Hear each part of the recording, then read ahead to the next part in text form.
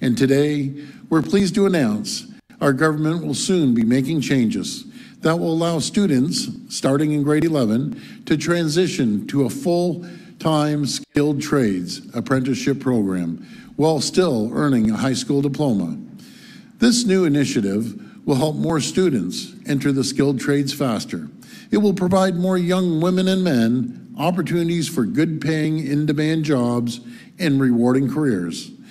This new pathway will be a game changer for so many students and their families and supports our government's ongoing work to attract more young people into the skilled trades to help build Ontario.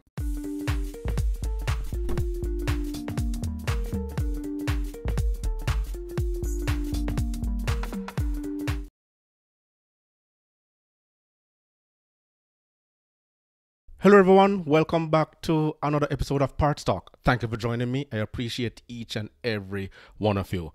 Now, today we're going to be tackling ever ongoing problem as it now appears that a shortage of skilled mechanics is now at an all time high.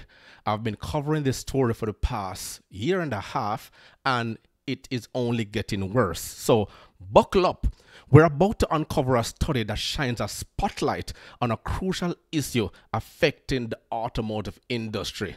We knew this from before, but now the alarm bells are sounding because now we have the government who is now willing to get involved. Now, this news is coming to you from the Windsor Star and it states automotive repair industry faces long-term labor shortage. So breaking news this month as it's shown here, a study conducted by the Motor Vehicle Retailers of Ontario has unveiled a staggering truth. So brace yourselves because there are currently a whopping 3,000 vacancies in the automotive technician trades within the province here in Ontario, Canada. And yes, you heard that right. 3,000. And here's the kicker the shortage isn't going away anytime soon because we're looking at a labor scarcity that's predicted to persist well into the next decade. We predicted this over two years ago. Remember that. So picture this.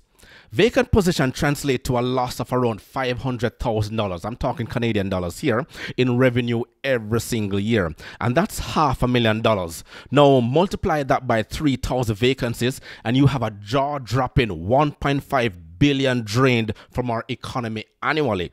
That's taxable income waving goodbye right there. So what's the story behind these shocking numbers? This study, a collaborative effort involving 20 companies and an industry association representative meticulously examined the state of affairs.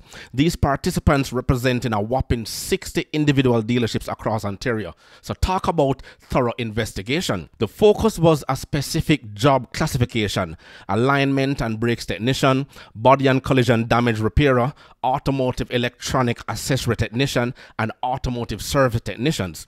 These are the unsung heroes who ensure our cars stay roadworthy and reliable at all times. So let's dive into the nitty gritty a little bit. Now, Brace yourself for these statistics. Between 2016 and 2021, the automotive technician workforce saw a concerning decline of 3.2%, leaving us with 54,885 employees. Simultaneously, the number of vehicles in Ontario soared by 8.5% to a staggering 9 million. The math doesn't quite adds up, does it? But there's more. The number of registered apprenticeships took a hit as well, plummeting by 12.7% to a mere 17,904.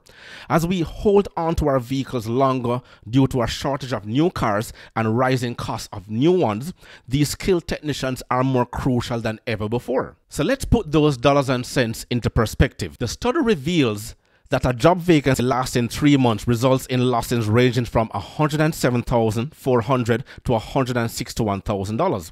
Extend that vacancy to 12 to 6 months and the numbers shoot up to a whopping $429,600 to $859,000 in lost revenue right there. So these figures are a stark reminder of the ripple effect these shortages will have on our economy. But it's not just about the revenue, it's about our workforce and future generations. According to the study, both federal and provincial governments are missing out on a combined 10,000 to $15,000 in income tax per auto service worker earning sixty to eighty thousand dollars a year. That's money that could be using to build and invest in stronger communities and improving our current infrastructure. As we navigate these challenges, it's crucial to explore solutions. Justin Lapointe, owner of Justin's Auto Repair in Windsor, you're seeing pictured here, shares his first-hand experience. With his shop bustling and cars lasting longer, he's in the tricky situation of needing more hands on deck. However, finding skilled technicians isn't a walk in the park. In fact, the issue push dealers and repair shops to cast a wider net. They're tapping into the federal government's temporary foreign workers program, recruiting certified technicians from around the world who are familiar with North American market brands. The numbers don't lie, as there's been an evenfold increase in technicians joining under this program since 2016. But let's not forget that our governments also play a pivotal role in resolving this crisis. The long term solutions hinge on incentives and education. School boards acknowledge skilled trades, and parents discussing these options as viable careers are steps in the right direction. The provincial government's effort to promote these interests in trades are warmly welcome, as you will see in this video right here from our premier in Ontario, Doug Ford. There's no secret that Ontario is facing a historic labor shortage with more than 380,000 jobs going unfilled every single day. So by 2026, one in five job openings in Ontario will be in the skilled trades. These are rewarding jobs as welders, as electricians, as, as child care workers, and the list just continues to go on. These are the jobs that will build Ontario because over the next decade, we're going to need thousands of new skilled construction workers to help build the infrastructure our growing population needs, including highways, transit, schools, hospitals, and of course, new homes.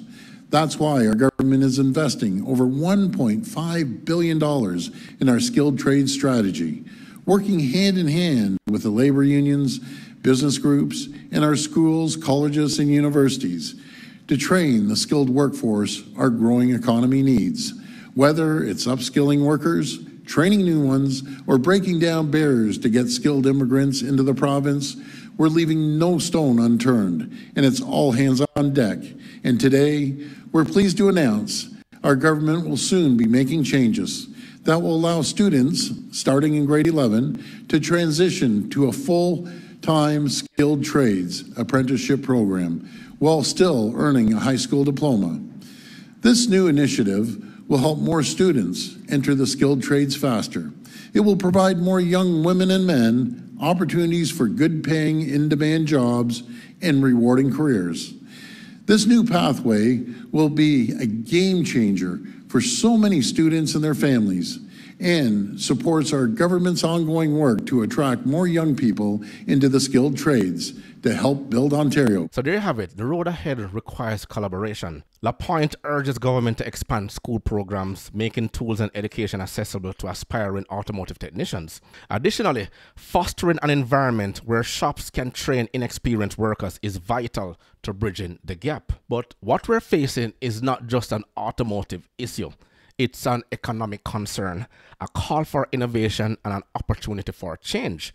As we navigate this journey together, let's remember that every turn prevents a chance to steer our future towards a skilled, thriving workforce that keeps our engines and our economy running strong. But here's a simple solution tell young men and boys that they matter and that we need them. And without them, our country will fail. That's all you need to do put in place benefits, compensation, and allowances that will encourage and motivate them to participate in this crisis that we're currently facing. And this particular message is geared towards our politicians. You're in authority to do so. It's time to look to the future and stop caring about votes only. What you have to do, in my opinion, is just tell feminism to go F itself. It's that simple.